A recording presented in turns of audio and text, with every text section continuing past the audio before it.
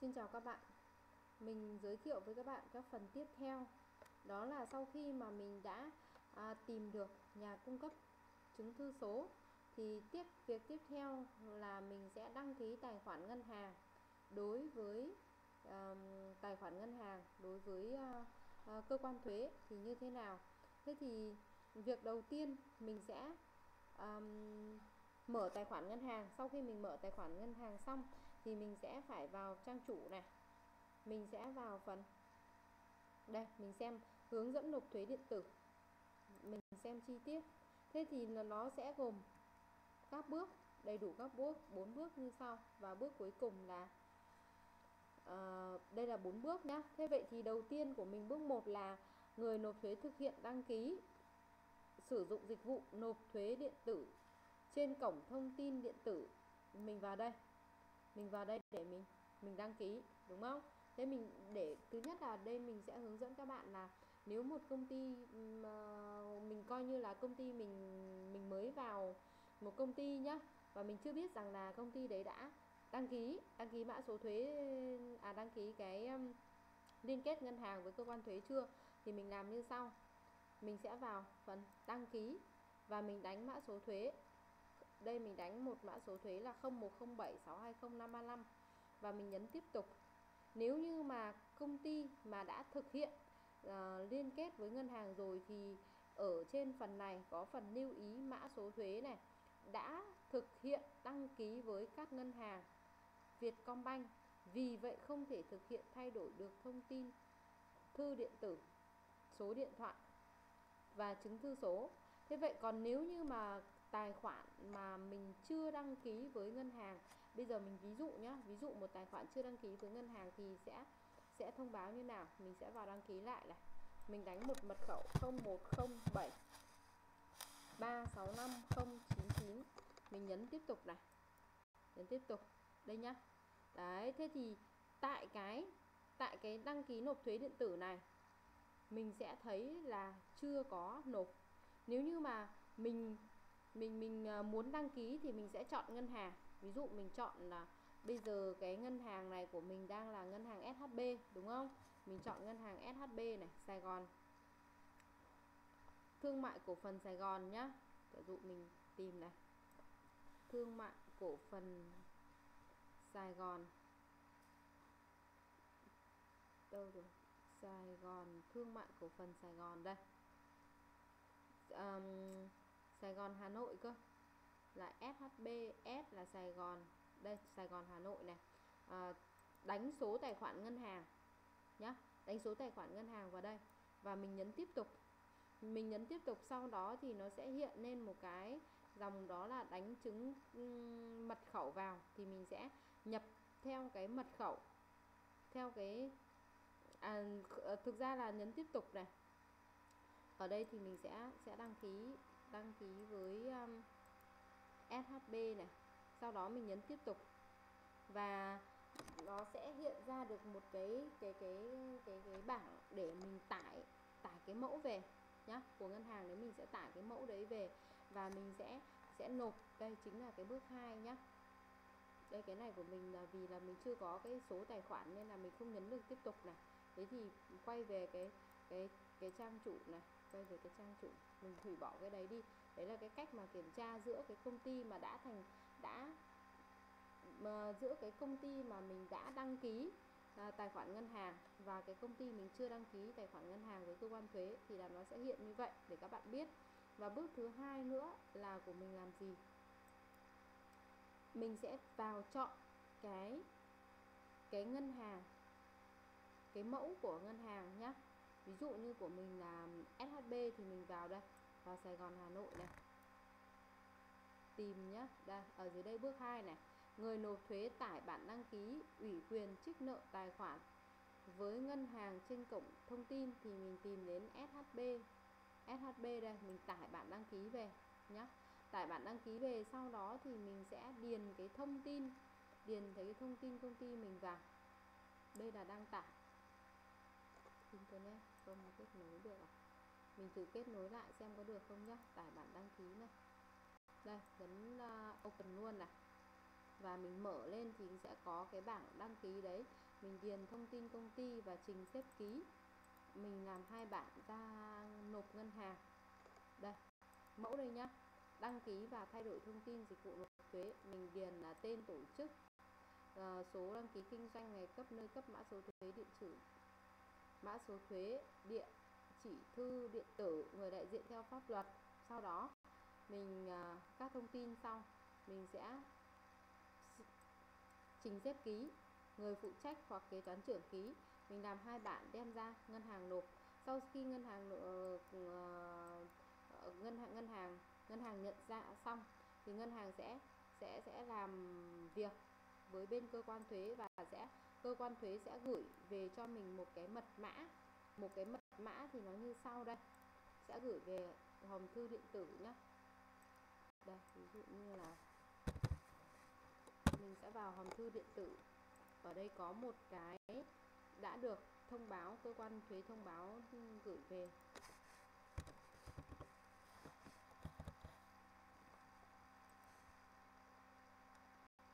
Đây, thông báo thuế này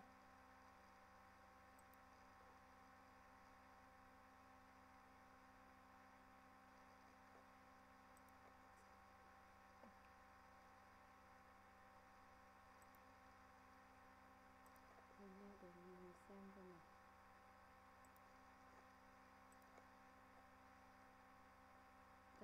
mà thì em nhớ là cái um, có một cái thư thư.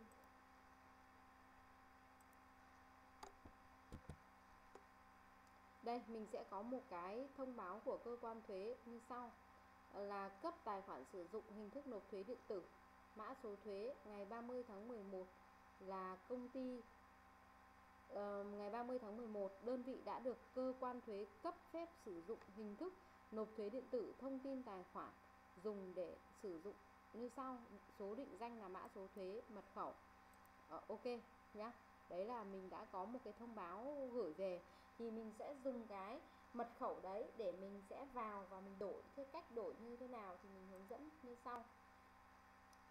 Ví dụ uh, sau khi mình tải cái này ờ, đăng ký rồi nhá có mật khẩu rồi là bước bước 3 là người nộp thuế khai các thông tin sau đó đến chi nhánh để thực hiện các thủ tục đăng ký ủy quyền trích nợ tài khoản là mình đã nộp rồi đúng không? Thì sau khi chi nhánh ngân hàng ký duyệt đăng ký duyệt đăng ký người nộp thuế nhận thông tin chấp nhận đăng ký sử dụng dịch vụ và nộp thuế điện tử qua EMA. Đấy chính là mình đã nhận được cái thư đúng không?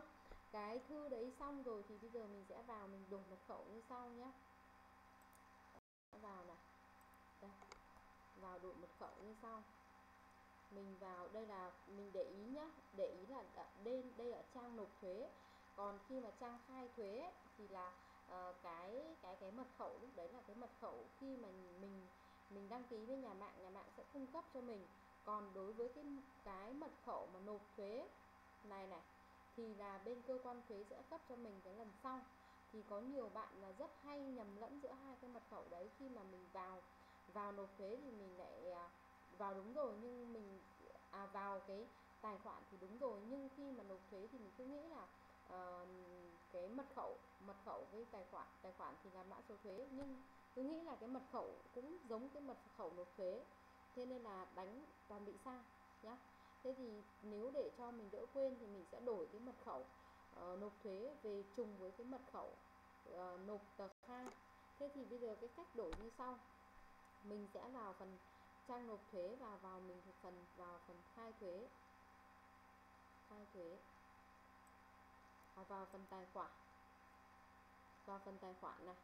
Sau đó mình tích là mình muốn thay đổi thông tin thay đổi thông tin đây để mình đăng nhập lại. 010 7 6 20 535 mật khẩu.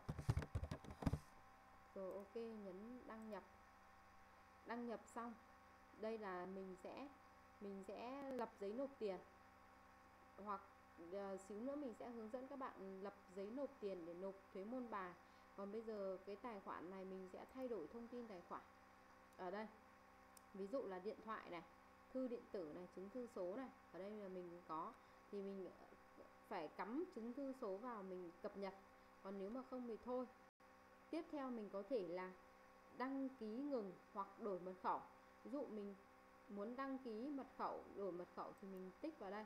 Và mình sẽ đánh mật khẩu cũ, đánh mật khẩu mới, nhắc lại mật khẩu, cập nhật. Mình nhớ là phải có chứng thư số thì mình mới đổi được nhé vậy thì mình sẽ sẽ đánh vào đây để mình mình đổi thế thì đợi mình mình sẽ cắm chứng thư số vào để cho các bạn thấy.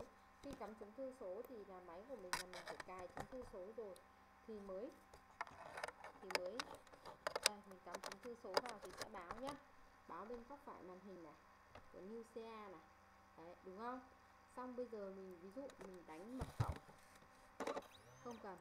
À, mã pin đang mặc định được sử dụng không cần nhé đây là chứng thư số của nhà Newsia bây giờ mình đánh cái mật khẩu cũ vào. Và mình nhập mật khẩu mới hai lần lại. Rồi, ok, bây giờ mình cập nhật. Mật khẩu mới không trùng với mật khẩu cũ, có nghĩa là hai cái mật khẩu mới này.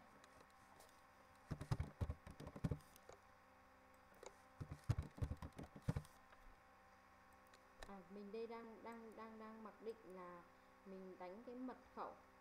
Để nó trùng. Trùng nhá. Đang bị trùng mật khẩu mới cũ trùng thì mình đánh khác đi. Mình sẽ đánh đi nhá. Đánh khác đi. Rồi, ok, mình cập nhật này. Đã thay đổi mật khẩu. Nộp thuế điện tử thành công. Ok nhá đấy là cái cách mà mọi người um, thay đổi trong cái trường hợp mà mình mình quên thì mình có thể vào phần tài khoản và mình đổi mật khẩu với điều kiện mình phải có chứng thư số nên mọi người không lo vấn đề này thế thì mình đã hướng dẫn cho các bạn cái cách mà mình đăng ký cái tài khoản ngân hàng để mình uh, lấy cái mật khẩu giữa ngân hàng và thuế để mình nộp thuế qua mạng nhá nộp tiền thuế qua mạng. Không các bạn hay nhầm là giữa cái nộp thuế với cái nộp tờ khai lắm à, tiếp theo nữa là mình đã hướng dẫn các bạn là thay đổi thay đổi cái mật khẩu rồi. Thế vậy thì à, bước tiếp theo bước tiếp theo trong trong phần hồ sơ ban đầu. Vậy thì mình đã làm xong các thủ tục là nộp mẫu 0608 công văn xin gộp báo cáo tài chính phiếu thao phiếu trao đổi thông tin và phụ lục 2 trừ 1 sau đó thì mình đã um, làm cái thông làm làm cái mở cái tài khoản ngân hàng để để mình nộp thuế qua mạng rồi. Và bây giờ mình sẽ tiếp theo là mình thông báo phát hành hóa đơn. Đầu tiên mà mình muốn thông báo phát hành hóa đơn thì mình phải có cái xin đơn đề nghị sử dụng hóa đơn nhá. À, mình sẽ làm cái đơn đề nghị sử dụng hóa đơn này và mình sẽ phải nộp bản cứng mình sẽ in làm ba bản và nộp lên cơ quan thuế. Cơ quan thuế sẽ đóng dấu và gửi lại cho mình một bản mình sẽ điền thông tin như sau. Tên người nộp thuế địa chỉ trụ sở thông tin nhận thông báo thuế số điện thoại cố định di động người đại diện pháp luật người nghề kinh doanh và mình cam kết nhé cam kết uh, trình xếp ký đóng dấu và mình mang lên cơ quan thuế. Bộ phận một cửa nộp. Sau khi nộp xong thì mình sẽ uh, nhận một bản đem về lưu và sẽ uh, sau đó thì mình sẽ nộp hồ sơ hồ sơ lên um, để họ duyệt. Hồ sơ bao gồm những cái gì?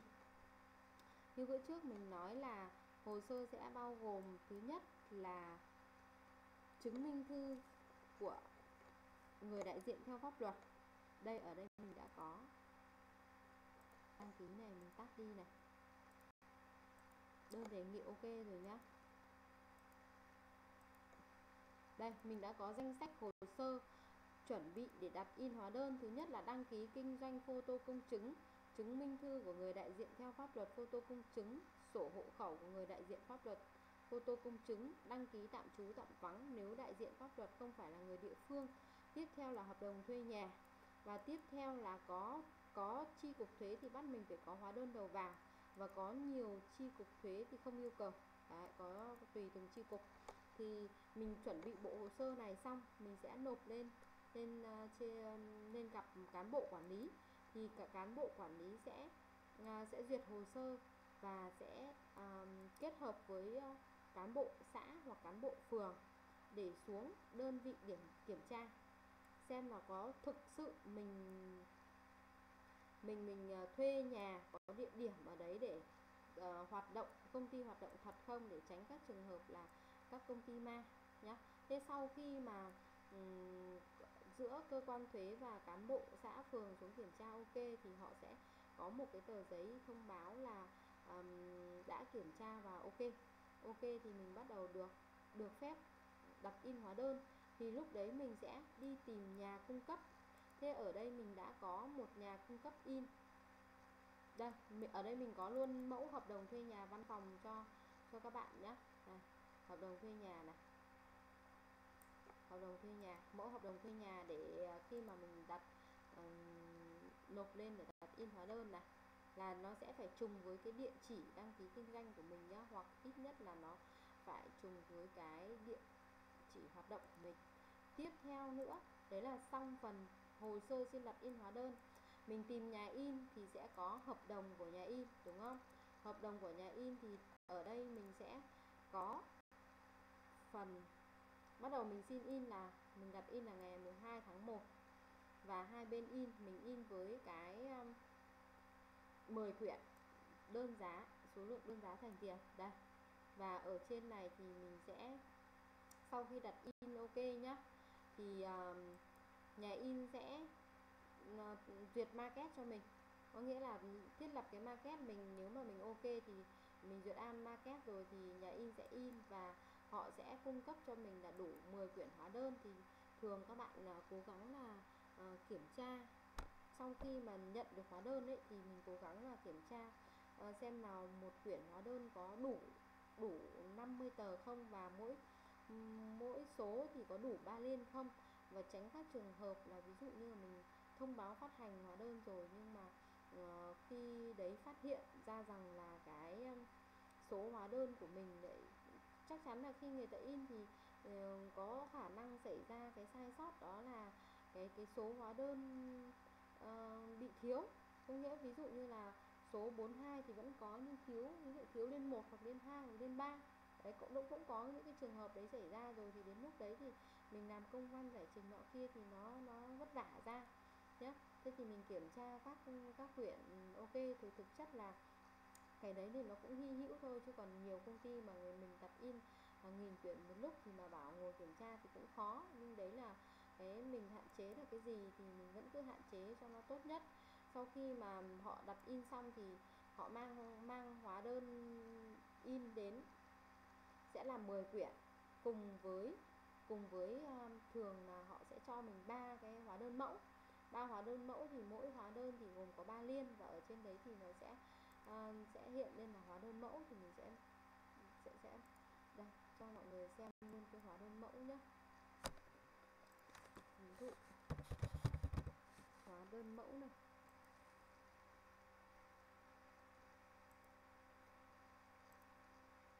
Hóa đơn mẫu. Đây hóa đơn mẫu này. Đây hóa đơn mẫu thì ở trên này sẽ là có mẫu số thì sẽ là 000 số là sẽ 000 và họ thường hay là ghi chữ mẫu ở đây hoặc là mình sẽ họ sẽ đóng một cái dấu vuông là mẫu nhá. Thì mình sẽ đệ sau khi mà mình có ừ, có được cái hóa đơn này rồi thì mình phải nhớ là thanh lý hợp đồng nhá. Có đầy đủ bộ là hợp đồng in này thanh lý hợp đồng này nhá. Đây đây là thanh lý hợp đồng. Bản thanh lý hợp đồng nhá. Ok hồ sơ đầy đủ này. À, xong rồi mình nhận hóa đơn mẫu nhá. Nhận hóa đơn mẫu thì bây giờ Ờ, à, đấy còn cái việc thanh toán tiền là là là là cái việc của giữa công ty mình và bên công ty nhà in nhá. Thế thì sau khi mà mình có cái hóa đơn này mình sẽ làm gì tiếp theo? Mình sẽ làm một cái thông báo phát hành hóa đơn nhá. Vậy thì mình sẽ vào phần mềm HTKK vào phần mềm HTKK và mình chọn đến không 36 0 099 mình lấy tạm mình lấy tạm cái này nhá. À, 0107365099 nhấn đồng ý ở đây mình sẽ có thông báo phát hành hóa đơn. Vào phần hóa đơn vào thông báo phát hành hóa đơn ở đây là mình sẽ thông báo xem là cái dữ liệu của mình cho là sẽ thông báo ngày mùng mấy nhá. Còn thực chất là khi mà mình đi làm thực tế thì là uh, mình nhận được nhận được cái cái hồ sơ ngày nào mình muốn viết hóa đơn uh, sớm luôn thì mình thông báo luôn đúng không? Mình thông báo luôn là cái ngày thanh lý đấy mình nhận được hóa đơn thì mình làm thông báo luôn.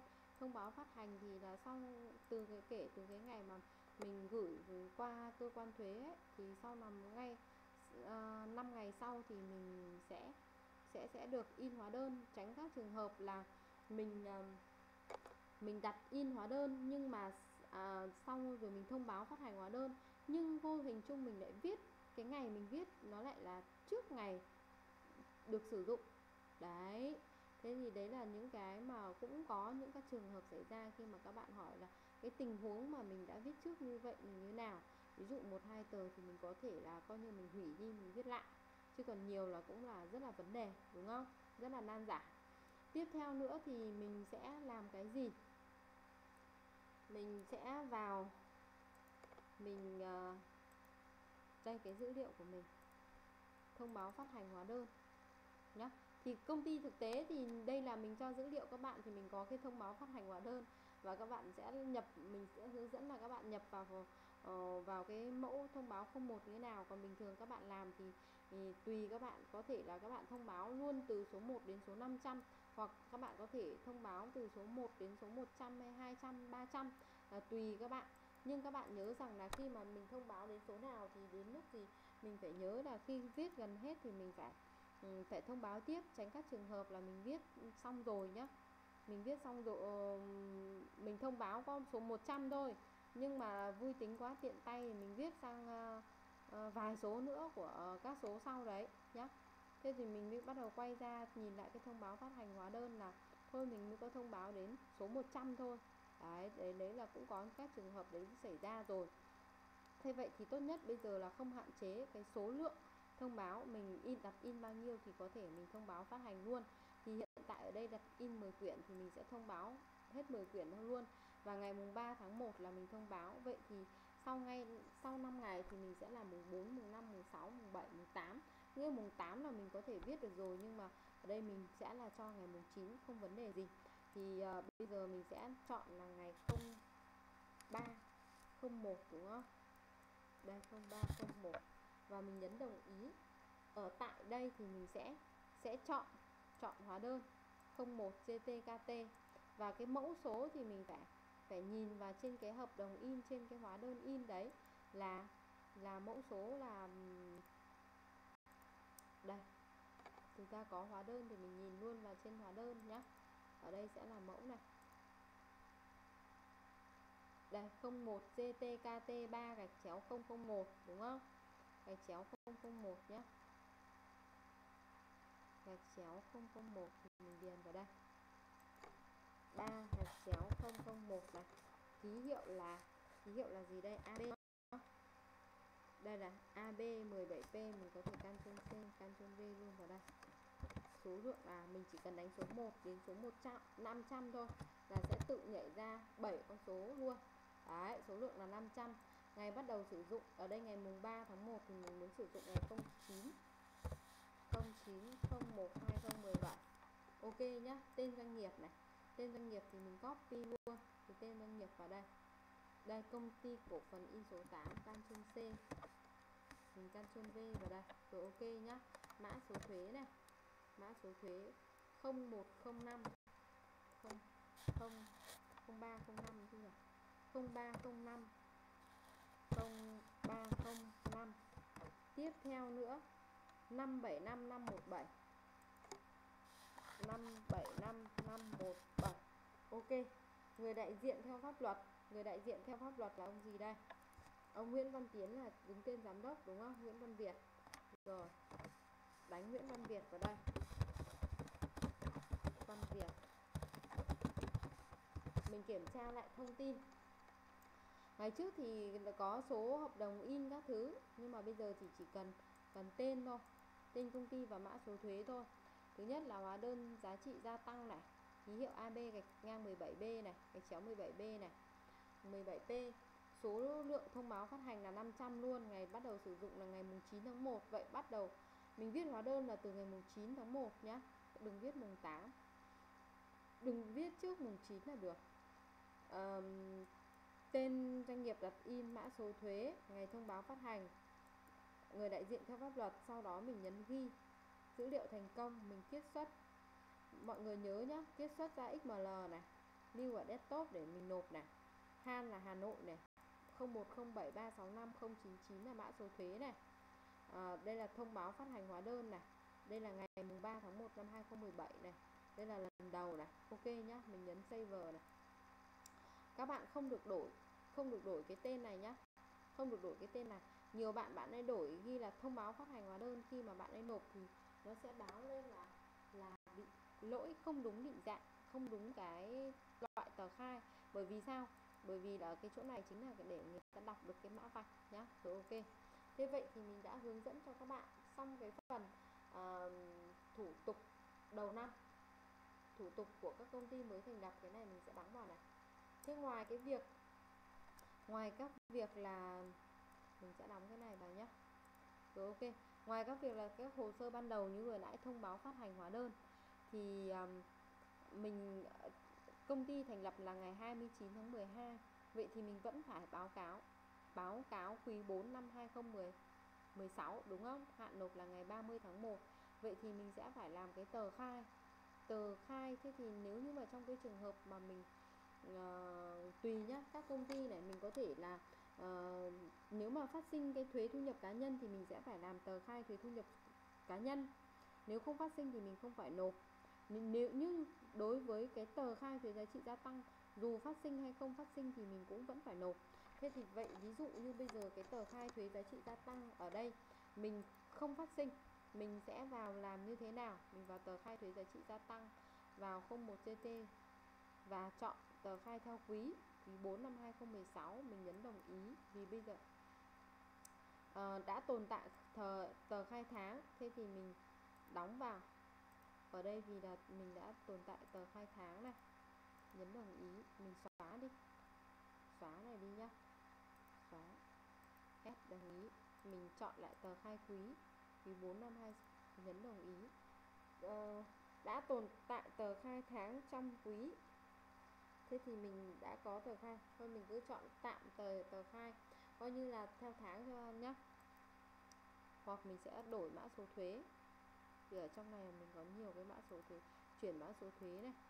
Mình sẽ chuyển về 07 365099 nhấn đồng ý xong tờ khai thuế giá trị gia tăng chọn quý 4 nhấn đồng ý vẫn có rồi nhé hệ thống chuyển mã số thuế khác. Um, 230008 sử dụng mình đánh 08 xem nào.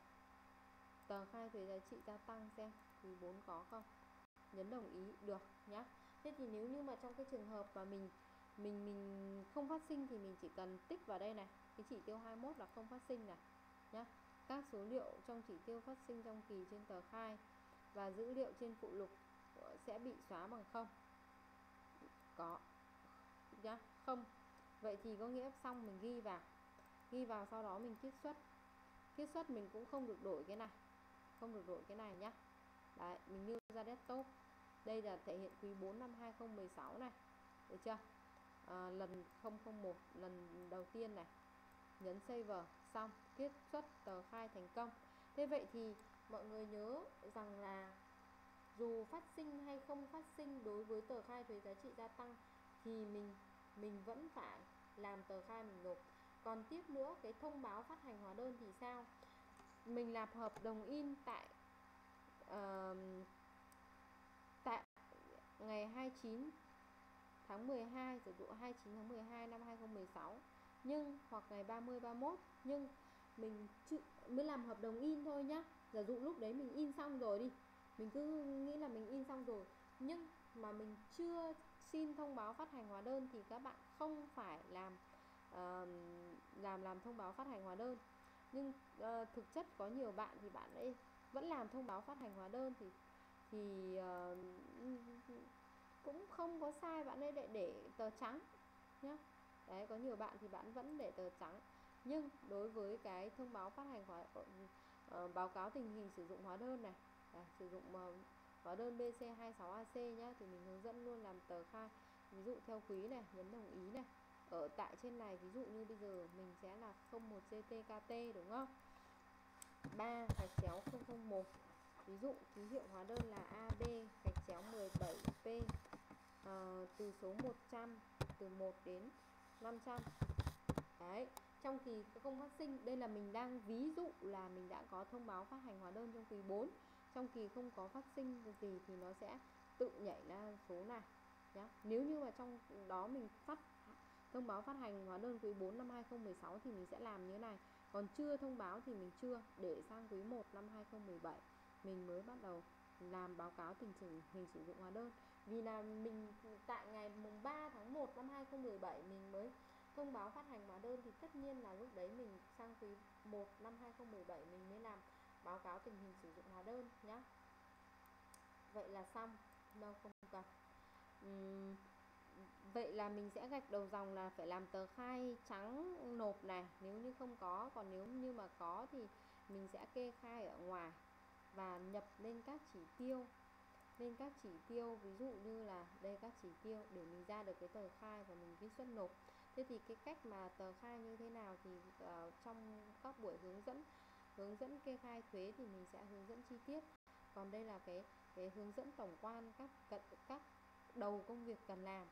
Thế là cái tờ khai xong này tờ khai thuế thu nhập cá nhân mà không phát sinh uh, số thuế thu nhập cá nhân phải nộp thì không phải không phải nộp tờ khai tiếp theo nữa là báo cáo tình hình sử dụng hóa đơn chỉ khi nào mà mình đã có thông báo rồi. À, đấy thường là ba cái đấy. Còn nếu trong cái trường hợp mà thuế thu nhập doanh nghiệp nếu mà quý đầu đấy mà mình đã có uh, phát sinh cái thuế thu nhập doanh nghiệp rồi nghĩa là công ty mình lãi ấy, mình có phát sinh rồi thì mình cũng cũng không phải làm tờ khai tạm tính nữa. Bây giờ không phải làm tờ khai tạm tính thuế thu nhập doanh nghiệp nữa mà các bạn chỉ cần nộp số tiền thuế đó nhá ít nhất là 80% cùng thời điểm cái ngày nộp thuế kể cả phát sinh bất kỳ thuế giá trị gia tăng hay thuế thu nhập doanh nghiệp thì các bạn cái ngày hạn ngày nộp tờ khai cũng chính là hạn nộp số tiền nhá. Thì bắt đầu từ, từ cái ngày sau trở đi thì sẽ sẽ sẽ tính sẽ tính chậm nộp 0.03% trên một ngày còn đối với các ngày nghỉ mà mình hạn nộp báo cáo tài chính à hạn nộp các tờ khai mà trùng với các ngày nghỉ thì mình sẽ được cộng bù vào ngày ngày tiếp theo để ngày tiếp theo mình nộp cũng không bị phạt ừ, chậm nộp nhé rồi ok.